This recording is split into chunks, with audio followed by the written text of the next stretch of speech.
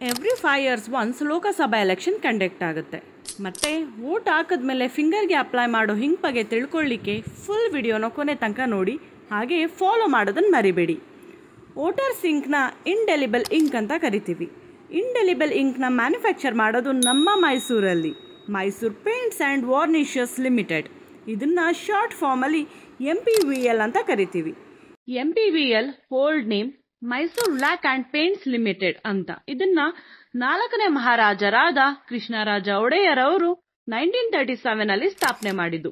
ನಮ್ಮ ಇಂಡಿಯಾಗೆ ಇಂಡಿಪೆಂಡೆನ್ಸ್ ಸಿಕ್ಕಾದ್ಮೇಲೆ ನೈನ್ಟೀನ್ ಸಿಕ್ಸ್ಟಿ ಟೂ ಅಲ್ಲಿ ಇದನ್ನ ಪಬ್ಲಿಕ್ ಸೆಕ್ಟರ್ ಕಂಪ್ನಿಯಾಗಿ ಕನ್ವರ್ಟ್ ಮಾಡಿದ್ರು. ಇಂಡೆಲಿಬಲ್ ಇಂಕ್ ಫಾರ್ಮುಲಾನ ಪ್ರಿಪೇರ್ ಮಾಡಿದ credits the national physical laboratory of ಇಂಡಿಯಾಗೆ ಸಲ್ಲತ್ತೆ.